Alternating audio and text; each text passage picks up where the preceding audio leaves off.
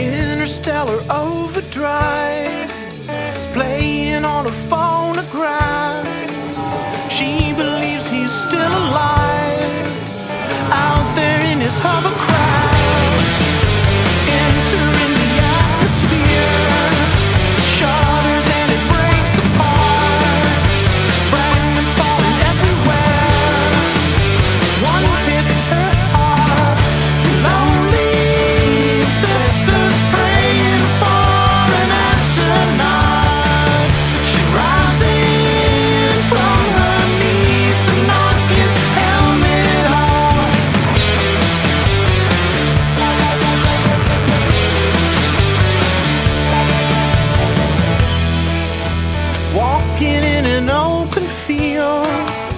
comes across an ankle bone, takes it home and drills a hole.